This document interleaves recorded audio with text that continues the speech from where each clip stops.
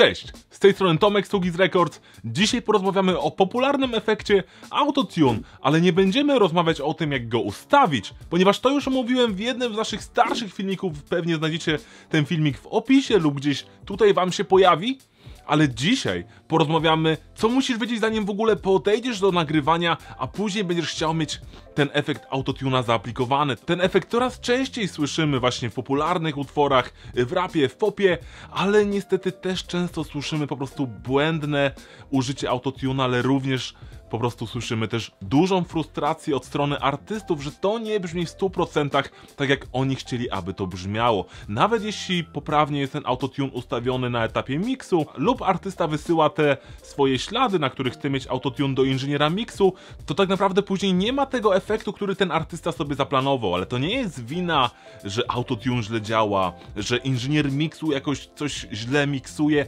ale to jest zazwyczaj niestety wina złego nagrania, nie podejścia strategicznego do właśnie autotuna. A dzisiaj porozmawiamy o kilku rzeczach, które na pewno pomogą, aby twój wokal na autotune brzmiał o wiele lepiej. Zaczynajmy! Pierwszą rzecz, z którą po prostu często się spotykam, to to, że Autotune ma ustawioną złą skalę. Czyli zamiast być w skali podkładu, aby nasz wokal pięknie komponował się z podkładem i nie fałszował, niestety często y, artyści po prostu bez wiedzy ustawiają nieraz Autotune i nie jest on w 100% w skali naszego podkładu. I co zrobić? Tak naprawdę możemy sobie na ucho każdą skalę zobaczyć, czy, czy brzmi, czy nie brzmi, ale to może być po prostu ciężkie i może to po prostu zabrać nam dużo czasu, a i tak może nie trafimy na ucho. Ale wtedy przychodzą do nas narzędzia, które nam mogą po prostu pomóc. W nowej wersji Autotuna mamy taką dodatkową wtyczkę, która nazywa się Auto Key. Wystarczy, że tą wtyczkę nałożycie na swój podkład lub na jakiś instrument w waszym podkładzie i on po prostu będzie skanował tak jakby co się dzieje w tym waszym utworze i powie wam dokładnie w jakiej jest skali i on działa bardzo dobrze. Drugą alternatywą to są również strony online, gdzie możemy załadować nasz podkład, nasz utwór i one nam powiedzą w jakiej skali jest nasz utwór. Tylko niestety one analizują cały utwór od momentu na przykład, gdzie była sama stopa z basem, po po koniec outro, gdzie po prostu jest kompletna cisza. I często one niestety dają przybliżoną skalę, która może nie być w 100% poprawna. Właśnie dlatego te wtyczki, jak AutoKey, albo alternatywne, które też tam jeszcze w komentarzu, one pomogą nam po prostu szybko znaleźć skalę naszego podkładu. No i co jest dobre w tych wtyczkach, że my po prostu możemy wybrać w naszym podkładzie tylko jedną część, po której ona będzie szukać skali. I teraz y, jedna właśnie taka porada. Nie ustawiajcie tej wtyczki, która ma znaleźć wam skalę, gdzie jest bardzo mało elementów, gdzie jest stopa, bas, ponieważ tam ona będzie miała trudności. Ale znajdźcie moment w waszym podkładzie, gdzie jest dużo instrumentów, gdzie jest po prostu element, który naprawdę lata po różnych dźwiękach, a dzięki temu ta nasza wtyczka będzie umiała znaleźć skalę, a wy później będziecie mogli ją ustawić w autotune i dzięki temu będziecie mieli pewność, że wasz autotune jest w 100% w skali i jesteście gotowi do działania. Druga rada to wybierz co wolisz? Czy wolisz już mieć efekt autotuna od razu na odsłuchu, wykonując swój utwór w studiu? Czy wolisz po prostu autotuna słyszeć dopiero po nagraniu, ale słyszysz swój naturalny wokal w słuchawkach? I tutaj tak naprawdę wiele artystów w ogóle nie wie, że może już na samym początku słyszeć autotune na żywo na swoich słuchawkach w odsłuchu. Co dla wielu artystów widzę, że jest bardzo pomocne, ponieważ oni wtedy naprawdę mogą wykazać się kreatywnością, mogą sami tak jakby malować melodię przez to, że słyszą już ten swój wokal po autotune i wiedzą dokładnie, czego mogą oczekiwać już na etapie, kiedy nagrywają. Ale jest również druga grupa, z którą się spotkałem. Grupa artystów, których rozprasza ten autotune w momencie, gdy mają go na odsłuchu i nie mogą się w ogóle skupić na nagraniu. I wtedy oni po prostu nagrywają, ale oni po prostu nagrywają swój surowy wokal, ale w odsłuchu już mają tą wtyczkę zapiętą i odsłuchują swój utwór surowo nagrany, przepuszczony przez autotuna. I ty musisz sam później zdecydować, którą opcję będziesz wolał. Czy autotune na żywo na słuchawkach, czy autotune bez słuchawek. Radzę Ci spróbować tych dwóch metod, ponieważ jedna może Ci podpasować bardziej, ale nie zrażaj się po pierwszym utworze, daj sobie czas, poćwicz troszeczkę, gdy masz autotune od razu na słuchawkach, a poćwicz sobie, gdy masz po prostu surowy wokal